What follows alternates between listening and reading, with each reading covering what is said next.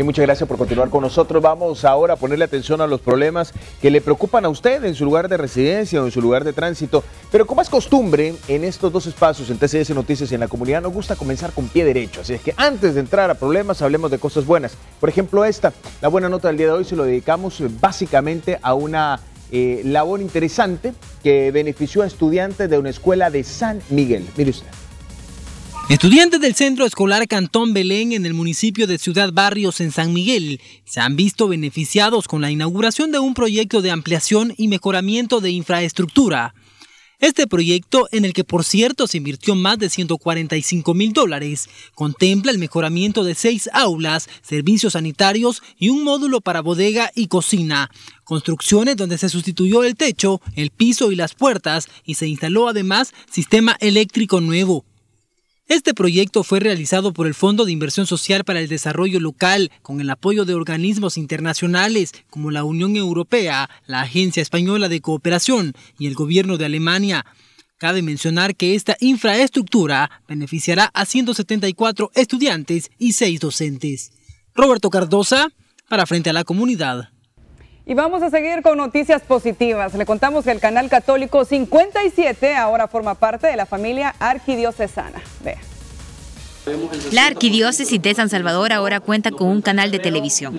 Es el canal 57 con programación 100% religiosa. El padre Luis Ayala, nuevo director del canal 57, aseguró que el compromiso sigue siendo difundir la palabra de Dios a través de este instrumento. Fíjate que es una de, gran alegría, sinceramente. Lo ha tomado con alegría el arzobispo, el clero, la feligresía está entusiasmada, porque como nunca habíamos tenido un canal así propiamente, ¿no? Ahora la expectativa está grande. La expectativa es que no solamente se cubra la zona para central o la arquidiócesis de San Salvador, sino que también la gente quiere. De hecho, a mí me han llamado de de Nueva Esparta, de la unión de todo eso, que si el canal va a llegar hasta allá. Que ya el señor arzobispo ha encomendado en sus manos que el Señor le conceda la luz de su espíritu, eh, toda la fuerza física necesaria para que lleve adelante esta obra y cuente desde luego con nuestra colaboración eh, en la medida de nuestras posibilidades. Usted será el experto en esto, nosotros seremos quienes ayudamos a que se haga lo mejor posible esta obra de evangelización. El objetivo principal del Canal 57 es el anuncio de la palabra de Dios e informar sobre el trabajo eclesiástico de la Iglesia Católica en nuestro país. Esto a través de programas que permitan fomentar los valores cristianos tan necesarios en nuestra sociedad. Ahora, bajo la nueva administración, habrán nuevos programas e imagen. Exacto, lo que nosotros vamos buscando, eh, aquí eh, ellos no tenían pero ni un set de producción ni nada, nosotros estamos construyendo tres sets de producción que, son grandes, megasets, entonces vamos a tener como la oportunidad de poder hacer eh, programas pregrabados, pero también de tener programas en vivo, o sea, programas en vivo. Y como decía yo, vamos a involucrar a la iglesia salvadoreña para que se siente el pueblo representado en el canal, que se vea la feligresía ahí de alguna manera, así de que los temas, pensamos meter temas de entusiasmo para los jóvenes, porque es un clamor, es un clamor grande, igual temas de familia que pueden servir de tanta orientación para cuánta gente que está totalmente desorientada. Son cuatro transmisores a nivel nacional y la cobertura en primera instancia del Canal 57 será en San Salvador, Santa Ana y San Miguel. El proyecto a futuro es que a nivel nacional llegue la señal de este canal católico a iluminar los hogares salvadoreños, ya sea en cable o señal abierta. Para frente a la comunidad, Andrea Navas. Y una fuga de agua está causando molestias entre los conductores en la calle Montserrat y la calle El Espino. Según los habitantes de la zona, tienen ya dos días con el derrame que sale de todos los puntos posibles, ocasionando evidentemente problemas. Eh, para que usted tenga una idea, para empezar, se arma tráfico en la zona porque nadie se quiere ir en los charcos. En segundo lugar, se está deteriorando la capa asfáltica. Y en tercero, los pobres transeúntes a la hora que pasa un carro a relativa alta velocidad terminan siempre salpicados. Mire usted, más claro imposible. Una imagen habla más que mil palabras. Cierto, cierto lo que acabas de decir, Federico. Y mire, en la comunidad Altos de las Flores, esto en Tonacatepeque, los habitantes solicitan ayuda. Tienen dos años con servicio irregular de agua potable. Los habitantes de la comunidad Altos de las Flores en Tonacatepeque llegan a este lugar de difícil acceso e improvisado, que utilizan para lavar la ropa, también para abastecer sus hogares de agua potable e incluso para tomar. Que nos den una explicación, porque es que nosotros no tenemos agua en este lugar. Si nosotros, miren los recibos, si yo se lo enseñara, uno viene de 15, 18 dólares, de 20 dólares. Entonces, ¿por qué es que nos están cobrando agua que nosotros no nos tomamos? Pues, fíjese que yo fui a, a hacer un, reclamo prácticamente, ¿verdad? Le dije, señor, mire, ¿por qué es que no sale tanto de agua? Es que usted su fuga, no sé qué, si usted va ahorita a verificar, está cerrada la, la válvula, la válvula que entra a mi vivienda. Entonces, ¿cuál es la fuga? ¿Dónde está esa fuga? Entonces, quiero saber yo por qué es que aquí se está dando ese problema que nos están cobrando tantísimo si nosotros somos personas de escasos recursos económicos. Son agujeros que han hecho donde hay nacimientos de agua, pero no todo es tan bueno en este lugar. Muy bien, bien fea la, bajada ahí, bien liso. A mí, a mí me da miedo caerme ahí. Y en vez voy a lavar y en vez no voy porque me da miedo ahí. Ahí está que está, está, está, estamos, estamos sufriendo con el agua, que la, la, la, la me la echan, no la echan, vamos a ocho días sin agua aquí. El servicio de agua es irregular. Aseguran que cada cuatro o cinco días llega el agua a sus casas. Hay meses enteros que no tienen agua potable, pero los recibos llegan recargados. Aquí, allí vamos a lavar a los pocitos y no fueran esos pocitos a ver cómo lo fuera, porque como tenemos niños chiquitos que también se los pueden enfermar. Es un terreno bastante peligroso. Este, parte de eso tenemos también que pasa un río, que el río que pasa ahí está contaminado, peligramos que los niños se nos enfermen, que tengan alguna bacteria o, algo los pocitos y también algunas veces nos ha tocado hasta tomar de esas aguas. Son más de 100 familias que se ven afectadas con el servicio irregular de agua potable en Altos de las Flores, esto en Tonacatepeque. Piden a ANDA que les ayuden porque pagan un servicio que no reciben. Para frente a la comunidad, Andrea Navas. En Los Almendros, San Martín, los habitantes tienen un dolor de cabeza y no es para menos. Fíjese que hay un cúmulo de lodo en las canaletas y eso evidentemente genera una serie de complicaciones que le detallamos en la siguiente nota. Este es el predio ubicado a un costado de la entrada principal de la residencia Los Almendros en San Martín. Ahí se iba a realizar un proyecto habitacional, solo terracearon la zona y quedó así, desolado. El problema es cuando llueve, la tierra se lava y genera cúmulos de lodo en las calles de la colonia que las personas que iban a construir las viviendas allá arriba no han terminado el trabajo desde el año pasado. Entonces hoy con las tormentas, como eso solo es relleno el que han hecho allá, esto se lava y toda esa tierra y, piedra viene a, terminar allá, que somos los últimos los que vivimos en este lado. Fíjese que entre toda la comunidad muchas veces nos hemos juntado, hemos lavado, hemos jalado tierra, los picas salen llenos de tierra. Es una capa gruesa de lodo que queda después de las lluvias en las calles vecinales de la residencia Los Almendros. Este es el polígono 3. Los tragantes se tapan causando inundaciones. Entonces los tragantes se nos tapan, si puede ver, están destapados sin tapadera para que poder sacar el lodo y que no se termine de tapar.